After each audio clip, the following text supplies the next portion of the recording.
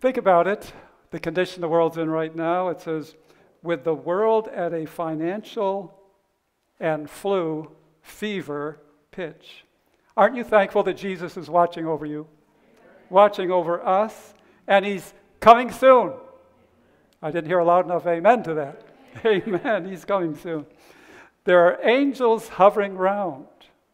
That's another very important thought. We have guardian angels with us 24 7, 365, right? And the Holy Spirit's working in us as we pray day by day throughout the day. We have nothing to fear for the future except fear itself. You've heard that somewhere before in your history classes, probably. So, our Lord Jesus told a parable while he was watching a farmer sowing seed. A sower went out to sow. The plants began to grow, but when he came to mow, his friends all wanted to know Sir, didn't you sow good seed in your field? Where then did the weeds come from? Well, he said to them, What? What did it say? An enemy has done this. That's our problem. There's an enemy out there. Revelation tells us that story. In Revelation chapter 12, it tells us about this war between good and evil. It started in heaven, of all places. Many of you are familiar with that. The angels rebelled, one third of them, they tell us. One third of the angels chose to follow Satan. Well, the fallen angels were expelled from heaven and they fell to here. Unfortunately, right now we've prayed that the holy angels will be around the building, inside the walls here, to protect us from those evil influences. Now, you can choose to let your mind wander and get away from the good influence of the holy angels. But that's a choice we make. Are we going to focus on the Word of God, on the love of God, on the sweetness of Jesus? Or are we going to let our minds be under the influence of the Holy Spirit? It's a choice that we make. I shared at prayer meeting the other night a story. Our son Boaz and his wife, Lorraine, are in the mission field, have been self supporting, and they're in Senegal now. Lorraine's sister is a pastor's wife in Oregon. And her husband recently was holding an evangelistic series. Some of you have heard this before, but for those who haven't, she felt impressed that she needed, during the evangelistic meetings while her husband was preaching, that she would pray. Well, she did. But unfortunately, much to her chagrin, nobody joined her, although she invited the church to come and pray with her. So she prayed there by herself the first night of the meeting, and she was concerned but hopeful that the next night some others would join her in the room.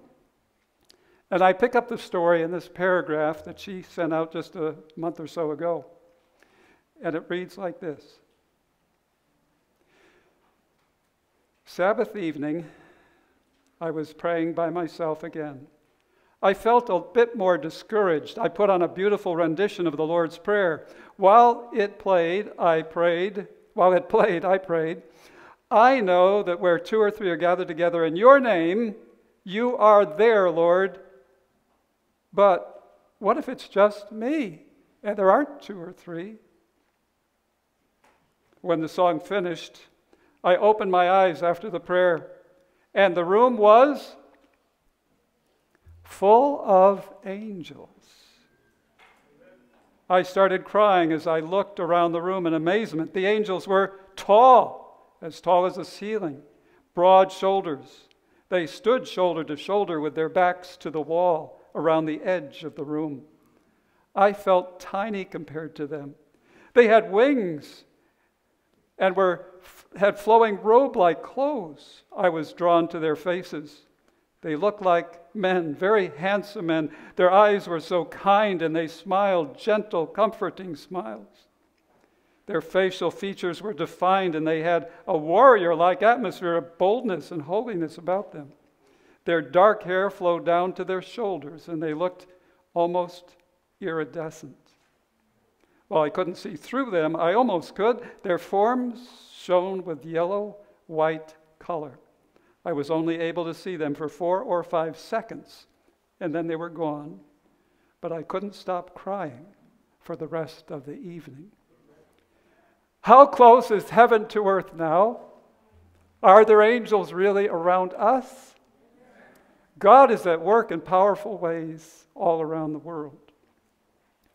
Think about what's going on with the angels that were expelled from heaven. They're following Lucifer, who now, his name meant light bearer as Lucifer, but he's now Satan, the adversary, the accuser, accusing God as being as selfish as himself. Hard to believe. How art thou, fall, how art thou fallen from heaven, O Lucifer, son of the morning? For thou hast said in thine heart, from Isaiah, hast said in thine heart, I will ascend to heaven, I will exalt my throne above the stars of God, I will sit also on the mount of the congregation in the sides of the north. I will ascend above the heights of the clouds, I will be like the Most High. Wow, the boldness of that. So, why do bad things happen on planet Earth?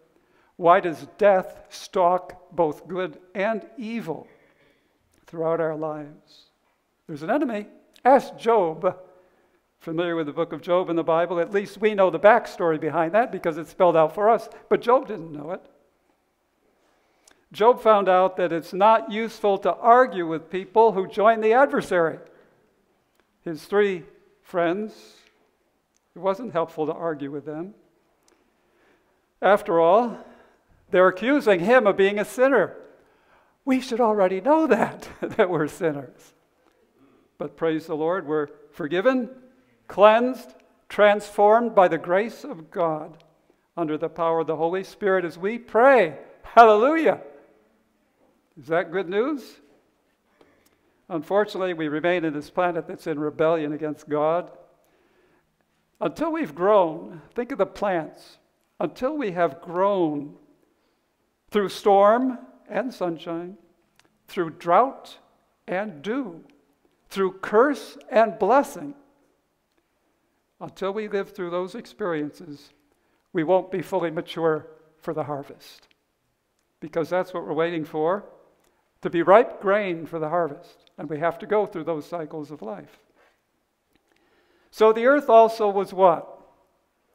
Corrupt before God, and the earth was filled with what? This is our condition we're living in, this planet. In the days of Noah, rebellion and rejection of the love and grace and mercy of God reached a peak. So God looked upon the earth. What does that mean to look? God's going into a judgment, right? He's looking throughout the earth to see what's going on. Is he doing that now? If you studied your Sabbath school lesson, what did you find last week? This week it's talking about the judgment. So it's certainly true that God looked, judgment time, the prophet Daniel wrote down what had been revealed to him. This judgment would exonerate God, the one that's taking place, that we're living in that time right now. If you're not sure about that, be sure to study the Sabbath school lesson. Ask one of us for it, and we'll be fine to provide one for you. They're available online too. How is God going to be exonerated? What is He going to do? How is He going to solve that problem? Well, He's making it clear through the sanctuary service in the Old Testament and then through Jesus' ministry in the New Testament because we can see God's character when we follow and trace Jesus' life. About His ministry, about His unselfish, loving revelation of the character of God. Well, as it says in Genesis chapter 6, which we had for our scripture reading. Then the Lord saw, what's that again? Another statement of judgment, right? He saw, he's looking, he's examining lives to see what's going on. The Bible defines wickedness, and it's judgment time about wickedness. It was great. The truth is that God loves us and he wants to rescue us from sin. That's his goal for us. He wants to take us away from the suffering and the selfishness that's here and the challenges that we faced. It's very exciting to know that it's very simple. Our challenge is to love who? Love God with your heart, mind, soul, and spirit, and love. This is simple stuff, right? Not complicated. That's the goal. That's the whole duty of man, you could say. Unfortunately, every when he studied what's going on, he saw that every intent of the thoughts of his heart was only what? Evil. How often? And where's that coming from? Pollution is pouring into the world endlessly through the media, through all kinds of ways, tempting us to vicariously participate in sin. Because if we are led to think lustful thoughts, think, think hatred toward other people. Jesus said we're already engaged in the sin. Now that's tragic to think that this is what's going on, evil continually. And the media is lying to us about the character of God. An angry God, a hellfire God, lies from the pit of hell. Think about the kingdom of God for a minute with me. It has a very simple charter. It says here, the Lord was sorry that he had made man on the earth, and he was grieved in his heart. The simple charter, the Ten Commandments. Remember the preamble. The covenant is the preamble, then with the Ten Commandments, right? So, what does the preamble say? It says, I am the Lord thy God that brought you out of the land of Egypt and out of the house of bondage. Sin is a place of bondage. And God brought the Israelites out of Egypt, even though we were, they were sinful people. But He loved them that much. Does He love us that much? Does He want to bring us out of the bondage of sin? We have to turn off the pollution and focus in on God and His love for us. The simple fact of the Ten Commandments is that they're all designed because it's part of God's kingdom of love, the way his kingdom of love operates. Now, we should see, as they needed to see, how much God loves us so that we would fall in love with him. That's the exciting thought. The Ten Commandments we should see as a wall of protection to keep us from the destructive nature of sin. It's from Eve we could learn that sin leads to what? God said it would lead to death, right? Eat the fruit, you die. He didn't want that, he didn't like that, but it's the way it operates. Unfortunately, you know, evil, Eve, first with the evil, and the opposite of death is to live, evil, and live. They're the opposites. Mirror images, reversed letters. Amazing. God wants us to turn from evil so we can live. I'm going to do something with the, uh, uh, this video clip for a minute because when it, this text reads, the Lord was sorry he'd made man on the earth and he was grieved in his heart. This is hard for us to get our mind around because we can see God is angry with us. We can see the angry parent that wants to beat you into submission. But I want to sow a different picture in your mind. Can you hear a father and a mother's love saying, I'm so sorry, my children are so messed up and they're in pain and I don't want to see them suffering anymore? And he's grieved. A parent is grieved when their children go astray. I want to put it this way and train, change that picture from an angry Moses and an angry God to a God grieves. Watch this clip for one minute.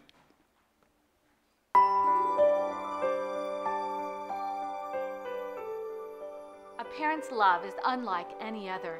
The love a parent feels for their child begins before they're even born, and it doesn't leave until the parents breathe their last breath. That's why Isaiah asked the question Can a mother forget her little child and not have love for her own son? And yet, even if that should be, I will not forget you. God, our Heavenly Father, expresses His love for us, both in terms of a father's love and a mother's love. Generally, a mother has a much closer attachment for their child because, well, God just wired us that way. We carried the baby inside our wombs for nine months before they were even born. And even adoptive mothers feel this same motherly love for their children. Love your children in the same way that God loves you, unconditionally.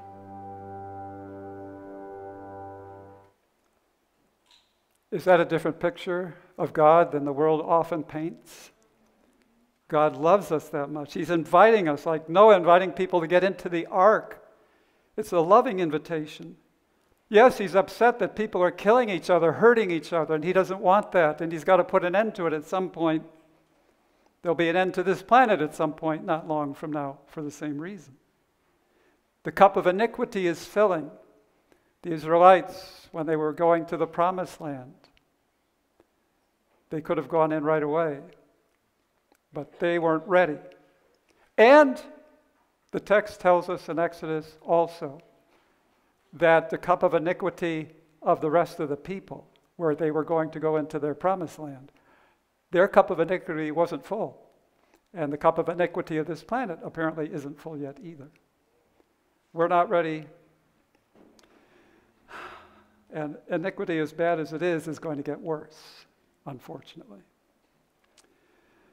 If you want to know more about this ark that we need to get into, just as surely as that ark where we were invited, the people of Noah's, they were invited, get in the ark, get in the ark. If you want to know about that ark, see us because we have Bible study lessons that make it clear there's an ark today. There is an ark, and it's not on the earth, it's an ark in the heavenly sanctuary. Revelation 11 19 tells how it was open and he could see the covenant. It's the Ark of the Covenant. It's there. It's the same one as was on planet Earth. How tragic that people don't pay attention to the Ark in heaven with the Ten Commandments inscribed there and the message of the mercy seat above it. He has mercy for everyone who will turn to him. He's longing for people to choose to enter into the ark by faith. And right after that text, of course, Revelation 11 19, it starts chapter 12. And in chapter 12, you see it there. It's the war in heaven. He's telling you the solution. It's come to the ark, come, onto the, come under the covenant. Accept the mercy and love of God and keep his commandments. That's the only way to live. You can't eat the fruit of the tree and expect to get away like Eve and Adam suffered. It's time.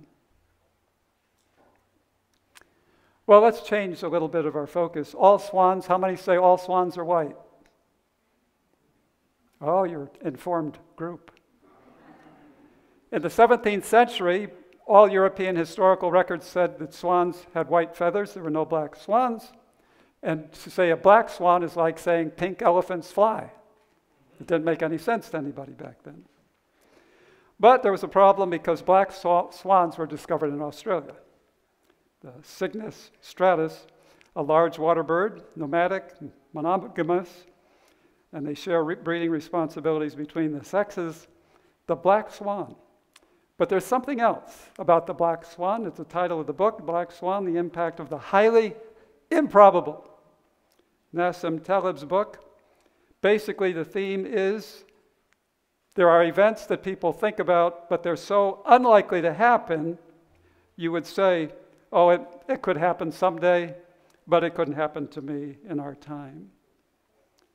He defines a black swan as an event with low probability, but it has very high impact, because if it did happen, phew, it would be a big problem. Some of you have heard Probably all of you have heard about the quake in Japan, March 11, 2011, 9.0 more or less on the Richter scale. So they had built, because there had been in this particular village uh, at Ryoshi, uh, they had a tidal wave 100 years ago, and so they built this big 30 foot high wall to keep out any future tidal waves. Because the last time when it came through, it wiped out the village. They believe it killed 90% of the people living there. But it would be different this time, they thought. Unfortunately, the water, the tidal wave after that earthquake, went over the wall, still destroyed the village. This photo is from uh, CNN on April 1, 2011, right? Oishi, however you pronounce that. Well, the 30 foot high wall wasn't high enough. They weren't adequately prepared. Fukushima was the impact there with the nuclear reactor meltdown, too. It's 2020, and they're still putting in the news about Fukushima. They're still rebuilding it. Now they're moving back in and have made some progress. But can you imagine waiting almost a decade for things to start to get better? Aren't you glad that when this world has a meltdown, it's not going to take Jesus 10 years or 20 years to rebuild it? We rest for a thousand years in heaven. If you haven't, if not familiar with that, let us know. We're glad to get you literature about it. But the fact is, when Jesus comes in a moment, in the twinkling of an eye, at the last trump, we'll be going home. Can you say praise the Lord for that? Well, what about coronavirus then? Is this a black swan event? Doug Batchelor uh, put out a little, since he's nearby, we might as well share some of his information. Some of you probably seen his post on Facebook.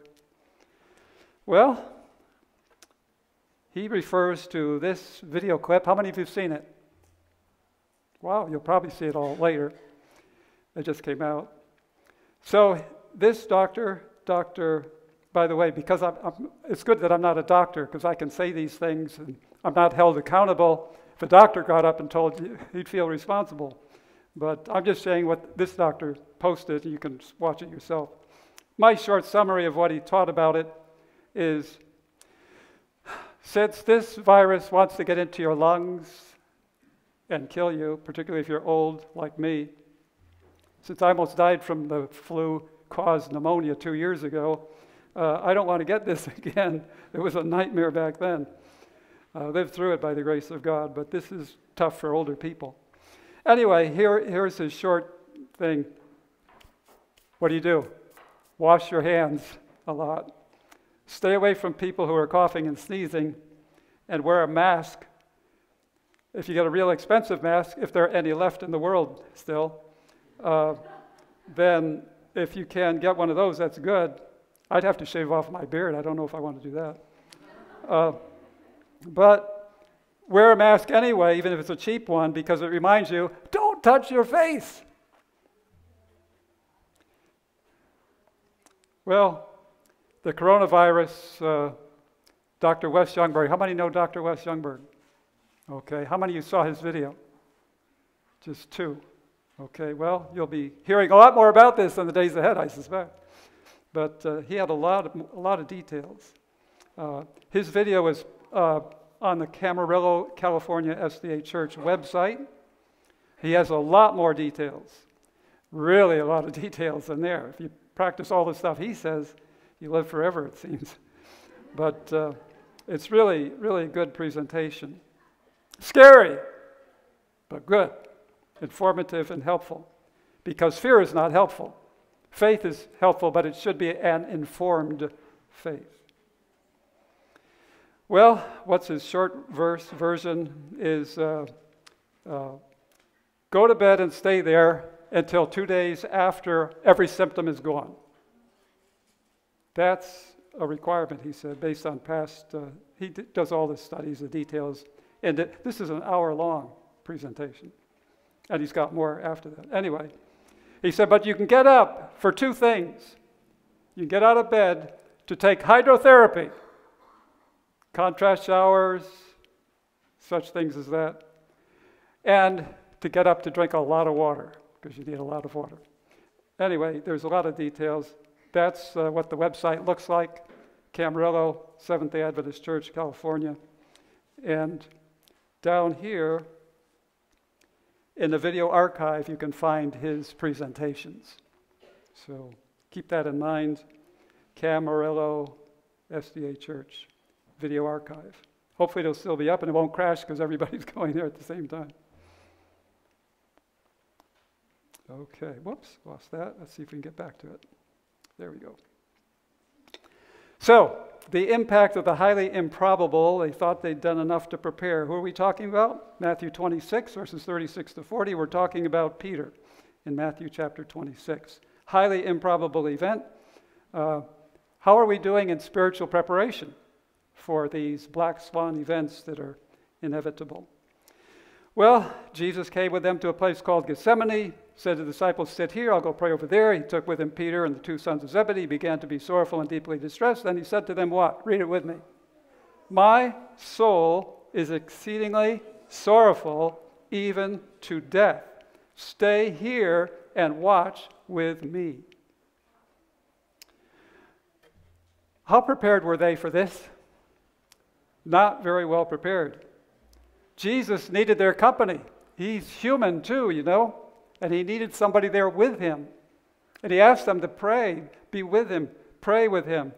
Not just for himself, he cared about them. If they didn't pray, they wouldn't be strong enough to deal with what was coming. In verse 39, it says he went a little farther and fell on his face and prayed, saying, O my Father, if it is possible, let this cup pass from me. Nevertheless, not as I will, but as you will.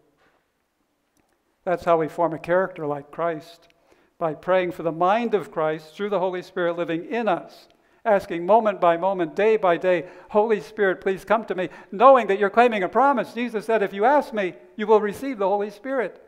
It's not a one time thing, it's a daily, hourly, moment by moment communication with heaven. Remember the passage in Genesis where we started? The Lord was what? Sorry. He grieved in his heart. Do you see the connection between this and when, when Jesus was in Gethsemane? When Jesus was on the cross? Do you see what it was like? Can you imagine what it was like for this experience to be grieving? So this is the kind of grieving I'm thinking of when, he's, when he has the sorrow of a, of a mother or father for a son. God loves this world, loves you and me with an unconditional love, but that unconditional love can't do away with a commitment to keep on sinning. We have to ask God for power to turn from sin. Oh, why would you die? Grieved in his heart. He fell on his face and prayed, saying, Not as I will, but as you will. That has to be the determining factor, the determining choice for you and for me. We have to choose. It's not going to be my will, but God's will that is my priority. No matter how much suffering it is, it's got to be God's will, not my will. How tragic that their attitude was to argue about who was going to be highest in the new kingdom instead of praying for a Micah 6 8 experience. I'll show thee, O man, what is good and what does the Lord require of you. Simple, right? What does he require of you? To do justly, that's keeping the commandments. To love mercy, mercy, accept his mercy for you and pass it on. And then walk humbly with God, which is the opposite of what the disciples were doing, to argue about who's going to be the greatest. And we're supposed to be praying to be a servant of all. What a tragedy. They were sleeping, and that's why they were in such a mess, because they were sleeping instead of praying and watching with Jesus for an hour.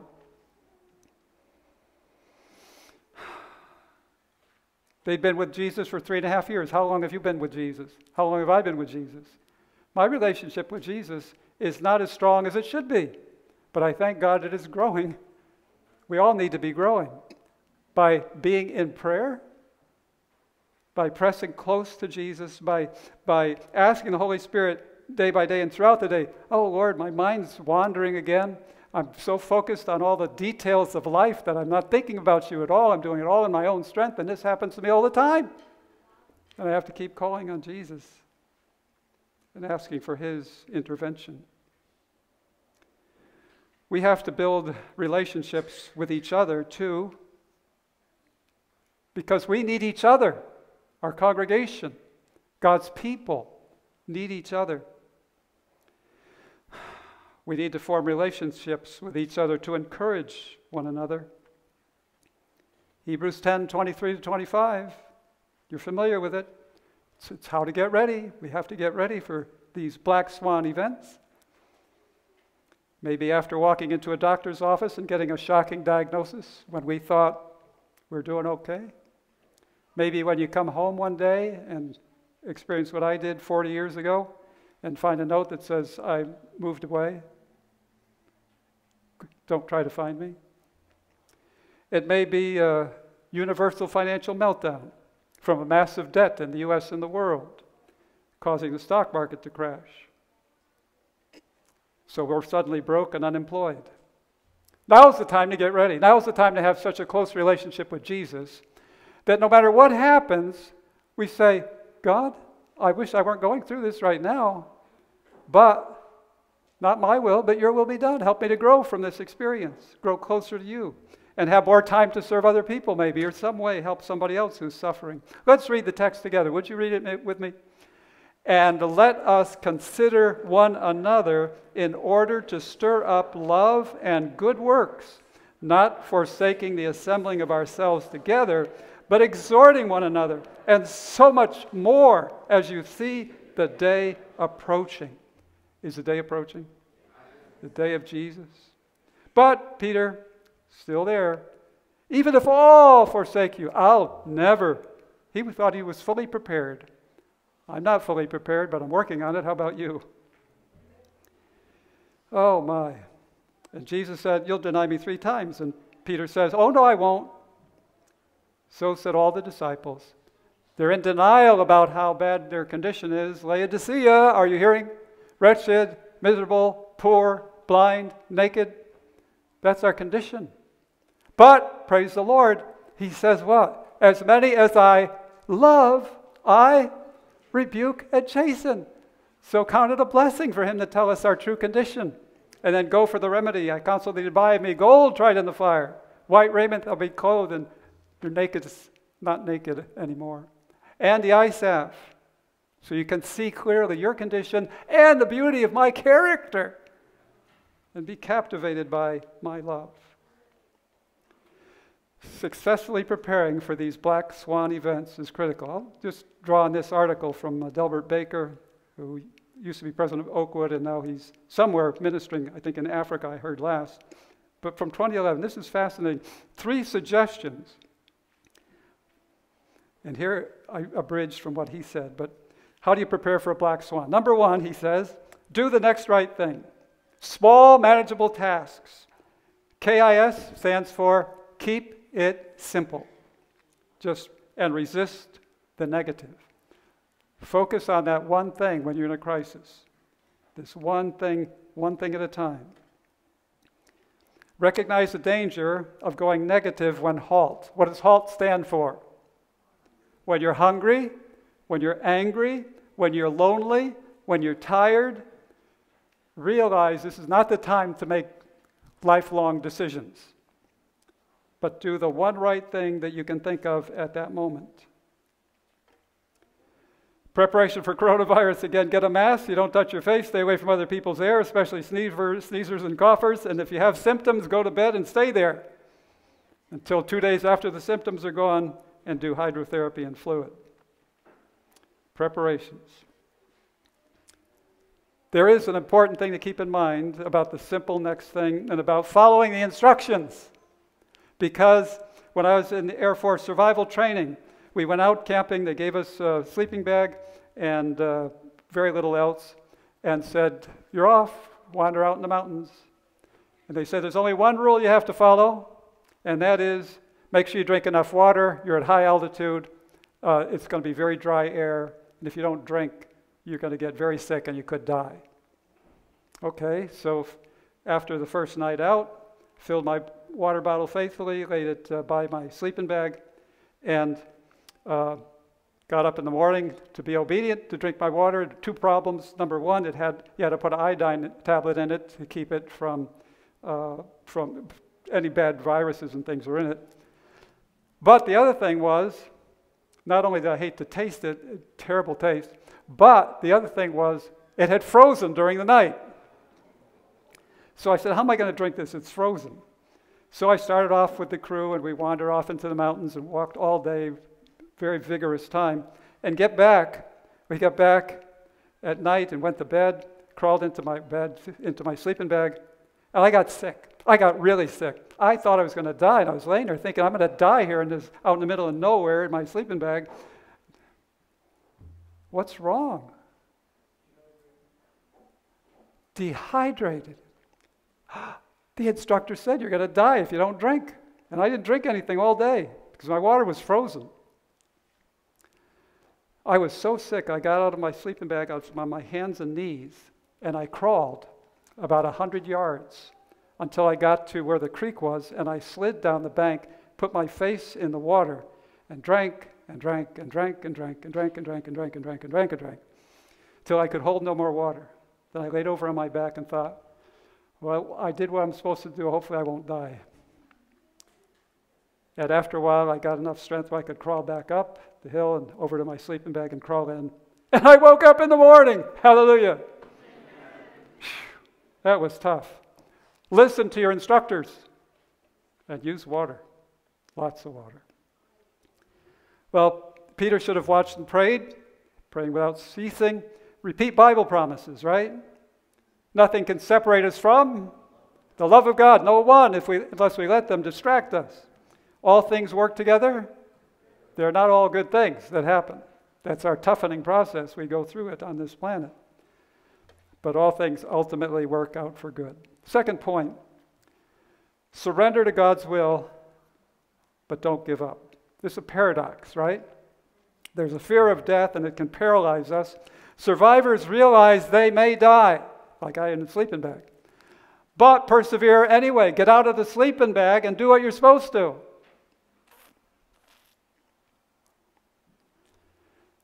Surrender, but don't give up. Revelation 14 12. Read it with me. This is very important. Here is the perseverance of the saints who keep the commandments of God and their faith in Jesus. This is not complicated. Being a believer in Christ and a follower of the Bible is not complicated. Persevere with faith in Jesus and keeping the commandments of God. Revelation 12 11. Read it with me too. And they overcame him because of the blood of the Lamb and because of the word of their testimony, and they did not love their life, even when faced with death. Three things, we can remember that many things. It's not complicated. The blood of Jesus cleanses us, the Holy Spirit empowers us. So, number three is develop the core values you can live by before you need it. What are the core values? Probably the primary one love God, love your neighbor. And it's summed up in the Ten Commandments. The first four commandments tell how to express love for God, the last six tell how to express love for your neighbor, that's it. Make it simple. But we, we fall. We're weak. Jesus told us that, right? He said, The Spirit is indeed is willing. This is on the same thing with Peter and the disciples. The Spirit indeed is willing. I'm glad you have the idea that you want to do it, but the flesh is weak. And praise the Lord that what? He loves us anyway. Oh, hallelujah. Otherwise, we'd all be gone, goners. But God is so good to us. You got to hear this. This is uh, core values found in Religious News Service, March 16, 2011. Adventists grow as other churches decline. I'll read the quote from them. Uh, the Seventh day Adventist Church is growing because its members live what they claim to believe. So here's what he, what he said Rest on the Sabbath, heed Old Testament dietary codes, be ready for Jesus to return at any moment. If these practices sound quaint or antiquated, think again. They're the hallmarks of the Seventh day Adventist Church, the fastest growing Christian denomination in North America. Is that still true in 2020? I have no idea. This was written back in 2011.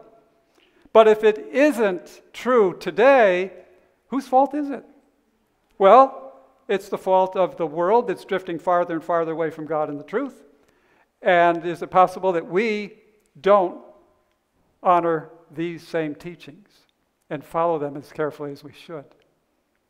Resting on the Sabbath, heeding the Old Testament dietary codes, be ready for Jesus to return. And we could add several more. We have 28 fundamental beliefs, but very simply, the Ten Commandments and the faith in Jesus, praying for the Holy Spirit. Faithfulness. Are we prepared for the black swan? Of all people, we should be. We should be preparing because we know what most people don't. The greatest black swan event ever. Interruption. We interrupt this program for an announcement. Jesus is coming. Hallelujah. Praise the Lord. So, are we prepared for the black swan? From my favorite author, outside of Scripture, page 58, the book Steps to Christ. Who has the heart? With whom are our thoughts? Who has our warmest affections and our best energies? What's your answer? Is it Jesus or something or someone or else? It should be Jesus. And it will be if we focus our attention on Him. Prepared for the black swan, if we are Christ's, our thoughts are with Him, and our sweetest thoughts are of Him. All we have and are is consecrated to Him.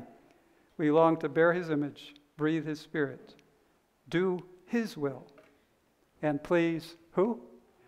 Please Him, please Jesus in all things. This is our day. We can recommit our lives to that. Jesus has our heart, our mind, and everything.